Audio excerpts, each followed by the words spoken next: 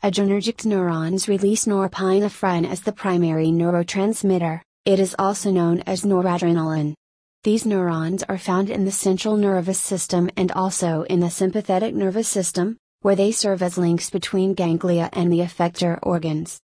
Epinephrine or also known as adrenaline is the main neurotransmitter excreted from the adrenal medulla. And dopamine, which has an important role as a neurotransmitter in the CNS. So it'll be discussed in the CNS lectures.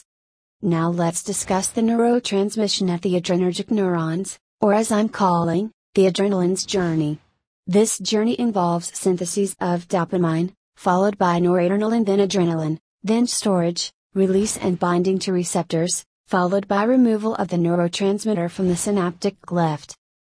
Tyrosine is transported by a carrier into the adrenergic neuron, where it is hydroxylated by tyrosine hydroxylase 2-dihydroxyphenylalanine, or known as DOPA.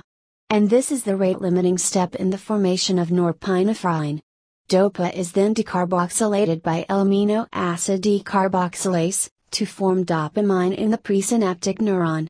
Then dopamine is transported into synaptic vesicles by an amine transporter system. This carrier system is blocked by reserpine, which we'll discuss later. Dopamine is next hydroxylated to form norepinephrine by the enzyme dopamine beta hydroxylase.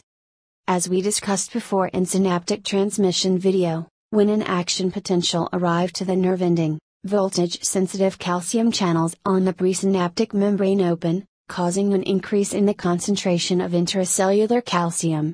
Elevated calcium levels promote the fusion of synaptic vesicles with the cell membrane and the release of their contents into the synaptic space. Drugs such as guanethidine block this release. Then noradrenaline diffuses across the synaptic space and binds to postsynaptic receptors on the effector organ, or to presynaptic receptors on the nerve ending. Binding to a receptor leads to a biologic response within the cell. Then comes the last step, which is the removal of noradrenaline, and actually there are multiple options for this process to be done. Noradrenaline may diffuse out of the synaptic cleft and enter the systemic circulation. Or it may be metabolized to inactive metabolites, that will be excreted in urine, by catechol-O-methyltransferase, known as COMT, in the synaptic space.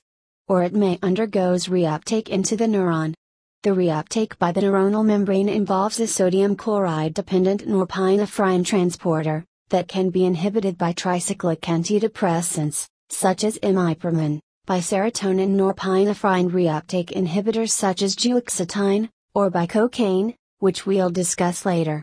Reuptake of norepinephrine into the presynaptic neuron is the primary mechanism for termination of its effects. Once norepinephrine re-enters the adrenergic neuron, it may be taken up into synaptic vesicles via the amine transporter system, so it'll be ready for release by another action potential.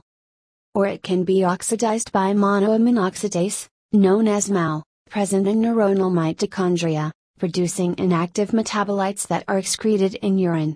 Noradrenaline undergoes methylation in the adrenal medulla producing adrenaline. This is the adrenaline's journey. I hope that was useful and entertaining for you. Please help me to know if that lecture was useful for you, using like or a comment. Subscribe and wait for the next lectures.